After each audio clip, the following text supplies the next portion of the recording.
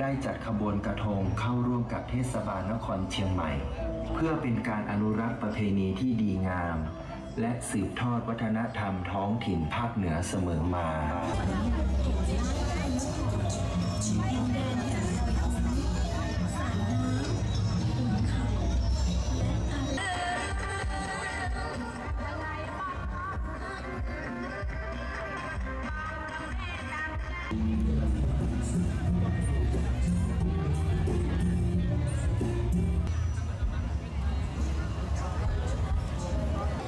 คือมีการประพฤติดีงาม ปริจาคะคือการเสียสละ อาชวะคือความ